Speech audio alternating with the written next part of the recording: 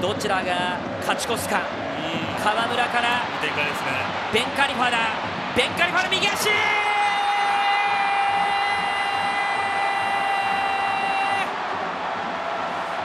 俺が広島を救う。ベンカリファ意地の一発。いやすごいシュートが突き刺さりましたね。アディショナルタイム。劇的逆転弾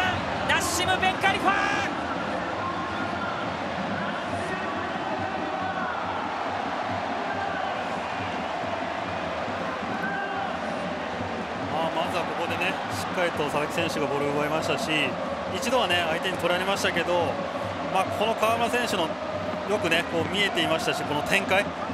でファーストトラップからこのニアサイド。しっかりとねシュートが打てるところにボールを置けましたしまあこのシュートはもうベンカリア選手の本当にこう見事でしたね。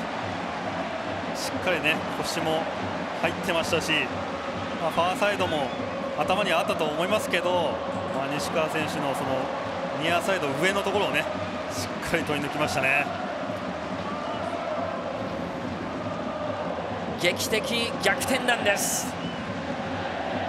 献身的なスイス人アタッカー。右足一閃2対1ひっくり返しました広島。